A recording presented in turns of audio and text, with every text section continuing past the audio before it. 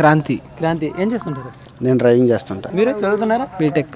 Nomination వేయడం జరిగింది. ఇక్కడ నెల రోజులు కూడా ఎలక్షన్ టైం లేదు. ఖచ్చితంగా గెలిచే అవకాశాలు ఎవరికి అంటారు? నేను లోకేష్కి వెళ్తాడు అంటున్నా నారా లోకేష్ గారు? సీఎం కొడుకు కాబట్టి ఆయనకి అవకాశం ఇద్దాం అనుకుంటున్నారా? లేకపోతే వాళ్ళు చేసిన ఈ పనులు బట్టి ఎన్నాళ్ళు చేసిన వెళ్ళి ఎడ్యుకేటెడ్. నారా లోకేష్ తెలుసు ఎలా డెవలప్ చేయాలో తెలిసిద్ది కదా. అందుకని అనుకుంటున్నాను మరి ఐటీ శాఖ మంత్రి హోదాలో ఉన్న ఆయన పోయినసారి ఆర్కే గెలిచాడు. ఏం చేయలేదు. నెక్స్ట్ లోకేష్ గెలిస్తే ఏమైనా చేస్తాడేమోనని.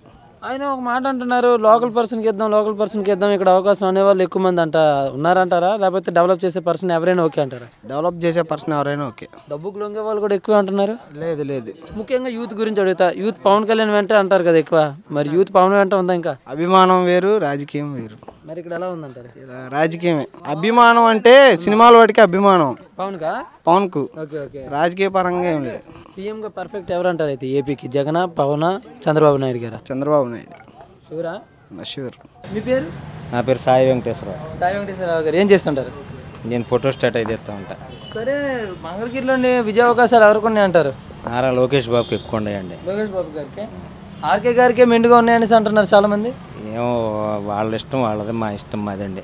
అది సీఎం కొడుకు అని చెప్తున్నారా గెలిపించాల్సి కొడుకని కాదండి చేస్తాడండి ఐటీ అయినా.